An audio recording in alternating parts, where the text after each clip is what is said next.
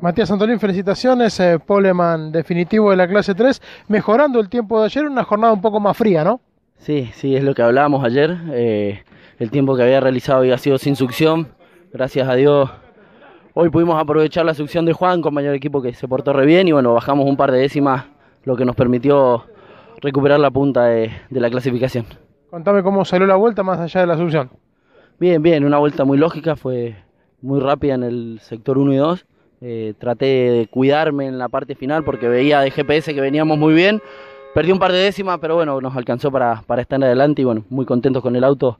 Ahora dejar todo bien para correr la serie. ¿Cómo se comportó el auto en esta clasificación que fue con condiciones un poco distintas a la de ayer? Bien, bien, al auto le hicimos un par de cambios que estoy seguro que acertamos. Eh, se le fueron un par de vicios en el tren trasero que nos complicaban bastante, así que bueno, eh, tenemos un auto bien equilibrado y, confiado para, correr la serie. Ahora para la serie, ¿alguna otra modificación pensando en el ritmo? No, no, no, hay que estar tranquilos sabiendo que eh, las series en este circuito son muy difíciles. El que te larga tercero, segundo te puede ganar, así que no nos vamos a volver locos. No nos vamos a, a volver locos por ganar la serie.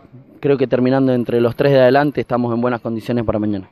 Matías, gracias por estar en Mundo Sport y que sea con éxito el resto del fin de semana. Bueno, muchas gracias a ustedes y bueno, agradecerle a toda la gente que nos ha venido a acompañar.